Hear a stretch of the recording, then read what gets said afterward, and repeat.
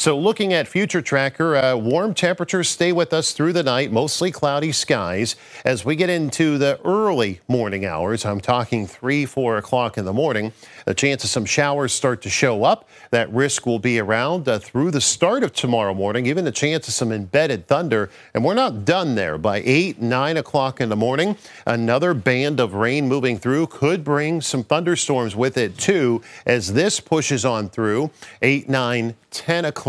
And then I do expect the bulk of these showers to move out. Just a small chance we get into an isolated uh, shower or a thunderstorm into tomorrow afternoon and evening. The temperature keeps warming up, though, and you're going to feel the humidity uh, building in, too, as the dew point temperatures climb through tomorrow afternoon.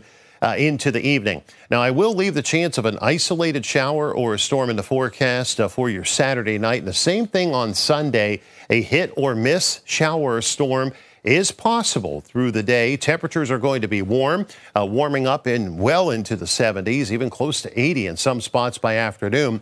If you can get enough sunshine in the location you're in, and that chance of one of those isolated thunderstorms stick around, then if any of these can get going later Sunday afternoon and evening, there is the chance for a gusty storm, some brief heavy rainfall, a possibility. So something we'll be watching through the end of the weekend. Uh, tonight down to 52, showers developing mainly toward morning.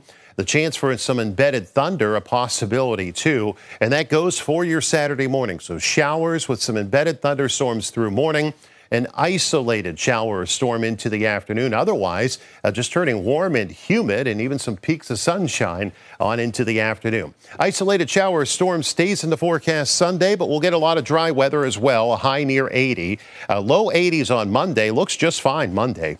Monday night into Tuesday, the risk of showers and storms increase. Scattered showers and storms on Tuesday a break on Wednesday, another round of showers and storms scattered about on Thursday, and the unsettled weather holds through Friday, but the temperatures stay warm through your seven day forecast.